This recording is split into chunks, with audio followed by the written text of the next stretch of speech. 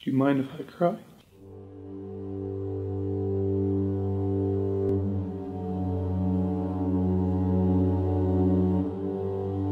He just says, Dad, I got a, I got a twitch in my arm. And I think it finally hit me that there's, there must be, there's something wrong here.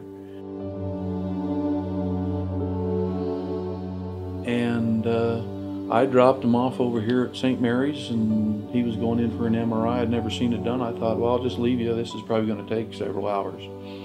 I went back to work. She stayed with him, and I walked in, and they're in a embrace, just crying their eyes out.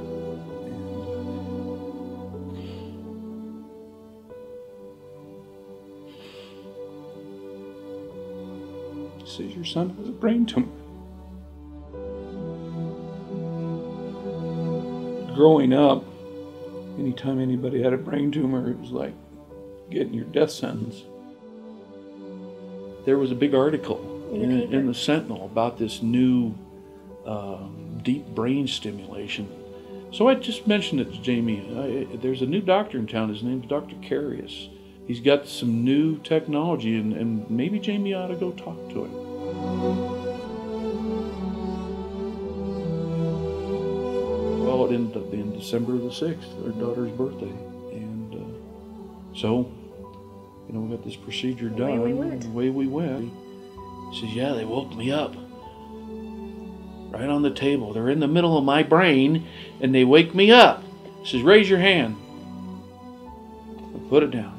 Raise your hand. He says, Tenth time I raised my hand, ninth, tenth, It was steady. nothing there.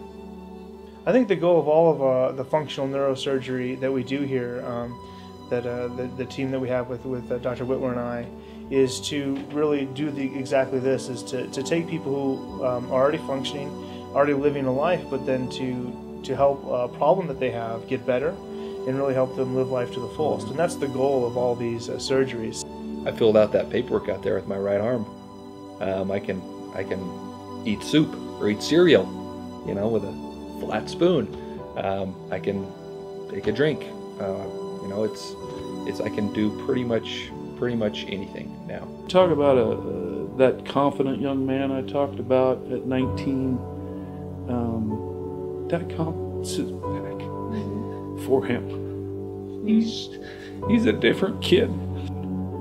You've got to go check this out. What? Uh, so the doctor's appointment costs you a hundred bucks. What happens if it works? What happens if there's something here that is going to change your life? And it did change his life. Mm-hmm.